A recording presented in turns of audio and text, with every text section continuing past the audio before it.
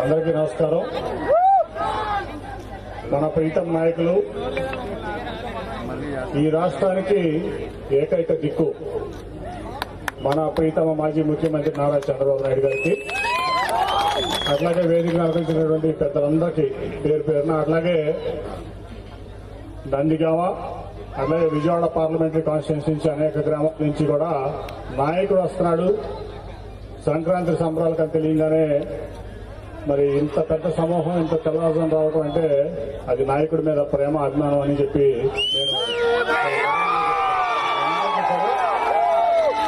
నేను నమస్కారాలు. ఈ పరిటాల గ్రామానికి ఒక చరిత్ర ఉంది. ఇందాక రఘురామ్ గారు చెప్పారు. అట్లాగే మన పార్టీకి నందిగామ నియోజకవర్గానికి అట్లాగే ఈ పరిటాల గ్రామానికి నాకు బాగా గుర్తు ఇప్పటికీ కూడా. రెండు వేల పదమూడు జనవరి.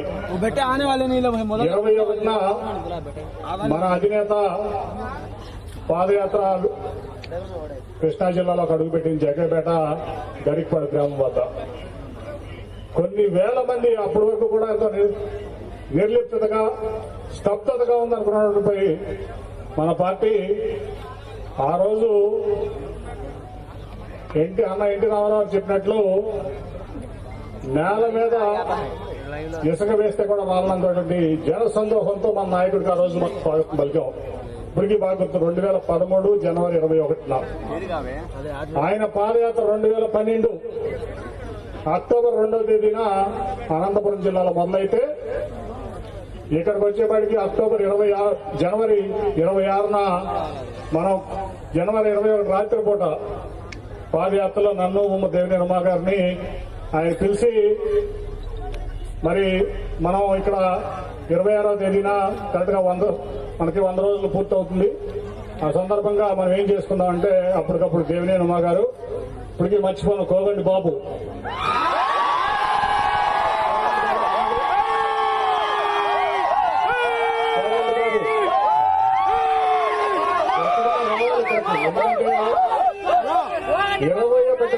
రాత్రి పన్నెండు గంటల తర్వాత ఇప్పుడు అధినాయకుడు వీరరామ గారిని నన్ను చూసి మనం ఇక్కడ ఒక చారిత్రాత్మకమైన కార్యక్రమం చేయాలంటే ఏం చేయాలని మేము ఆలోచించినప్పుడు మరి ఉమా గారు చెప్పారు ఇక్కడ పైలా నిర్మిద్దాం అంటే ల్యాండ్ ఎక్కడ దొరుకుతుంది మనకు అనుకుంటే ఏమి ఆలోచించకుండా ఇరవై రెండు పొద్దున్నే ఏడు గంటలకల్లా కోగండి బాబు నా భూమి ఉంది నేను ఇస్తానని చెప్పి ఎవరూ కూడా అంత త్యాగం చేయలేదు అటువంటి త్యాగ మూర్తి మన కోగండి బాబు. ఎందుకంటే కొన్ని కొన్ని త్యాగాలు మనం ఇప్పుడు కూడా మర్చిపోకూడదు. త్యాగ త్యాగం చేసేవాళ్ళు ఈ పార్టీలో నేను చూసా మరి ఈ రోజు ఆగండి ఆగండి. ఒక నిమిషం. ఆగండి. ఈ రోజు మన పాలిస్తున్నటువంటి పార్టీని కూడా చూసాం. ఎట్లా డబ్బు సంపాదించాలి?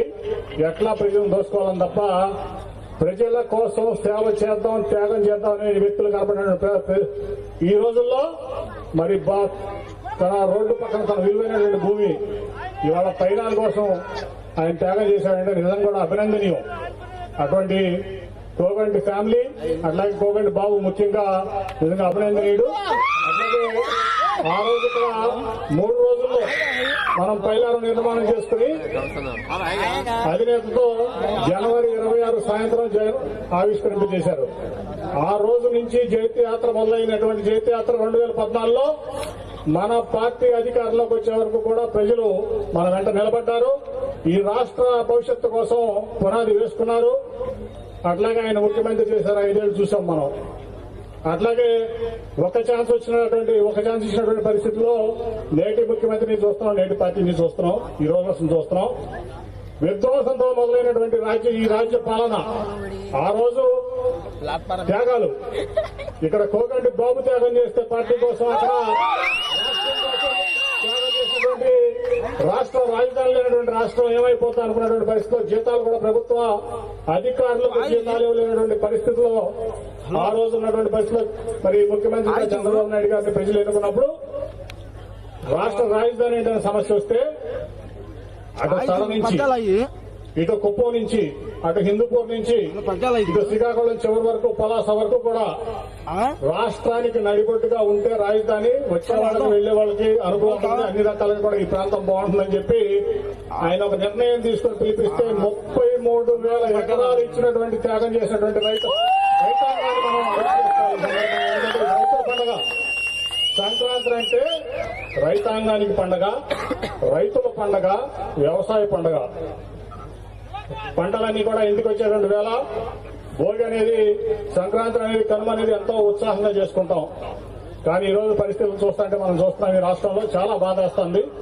అటువంటి పరిస్థితుల్లో విధ్వంసంతో అందరూ కొబ్బరికాయ కొట్టి మంచి కార్యక్రమాలు మొదలు పెడతాడు మరి మన ముఖ్యమంత్రి పేరు చెప్పడానికి కూడా మనకు నోరు రావట్లేదు. కూడా ప్రజావేదిక కూల్చి మొదలుపెట్టినటువంటి ఈ ప్రస్థానం ఆయన ప్రస్థానం ఇవాళ పంతొమ్మిది నెలలు ఇరవై నెలల్లో అమరావతిని విధ్వంసం చేశాడు ప్రజావేదికను విధ్వంసం చేశాడు. ఇవాళ రాష్ట్ర రైతాంగాన్ని కూడా ఇవాళ రాష్ట్ర రైతాంగం అన్ని రకాలు కూడా ఇబ్బంది పడతా ఉంది. ముఖ్యంగా మీరు చూసుకుంటే కరెంటు బిల్లు. ఇవాళ మీకు కరెంటు మీటర్లు ఇస్తున్నాడు. రేపు ఏం చేస్తాడు? కరెంటు మీటర్లు ఇచ్చిన తర్వాత మీకు మోటార్ సైకిల్ ఉంది కాబట్టి నీ వ్యవసాయానికి కరెంట్ ఉచితంగా ఉండదు. నీకు కారు ఉంది కాబట్టి నీ ఇంట్లో టీవీ ఉంది కాబట్టి నీ ఇంట్లో ఫ్రిడ్జ్ ఉంది కాబట్టి నీ కరెంట్ బిల్లు ఇంట్లో ఎక్కువ వస్తుంది కాబట్టి నువ్వు రైతుల కింద రావు కమర్షియల్ కింద వస్తావని చెప్పి రేపు బిల్లులు మూత భోగిస్తాడు. ఇంతకుముందు మొన్న ప్రభుత్వం వచ్చిన తర్వాత తొమ్మిది గంటలు ఉచితంగా ఇచ్చినటువంటి రైతాంగానికి కరెంటు వ్యవసాయ కరెంటు నిరంతరాయంగా. ఏ టైం అయినా కానీ తొమ్మిది గంటలు వరుసగా ఇచ్చాం. అట్లాగే ఇండస్ట్రీస్ కానీ కరెంట్ మరి రెసిడెన్షియల్ ఆ రోజు కరెంటు సరఫరా ఎక్కడ నిరంతరంగా ఎక్కడ ఆటంకం లేకుండా ఇచ్చిన పరిస్థితి చూసాం అట్లా అనేక కార్యక్రమాలు చేసుకున్నాం గత ఐదేళ్ళలో. మరి ఈ రోజు చూస్తే పంతొమ్మిది నెలల్లో ఈ రాష్ట్రానికి అప్పులు తప్పే మిగలలేదు. అట్లాగే ఈ ప్రాంతాన్ని ముఖ్యంగా ఈ ప్రాంతాన్ని నాశనం చేసేటువంటి కార్యక్రమం జగన్మోహన్ రెడ్డి తీసుకున్నాడు ముఖ్యంగా రైతాంగాన్ని. ఈ రోజు కరెంటు బిల్లు అవనివ్వండి లేకపోతే ఏ రకంగా తీసుకున్నా ఇవాళ రైతాంగాన్ని నాశనం చేసేటువంటి కార్యక్రమం ఈ ముఖ్యమంత్రి చేసినాడు. ఒక పక్కన అవినీతి ఒక పక్కన విధ్వంసం ఒక పక్కన తప్పుడు కేసులు.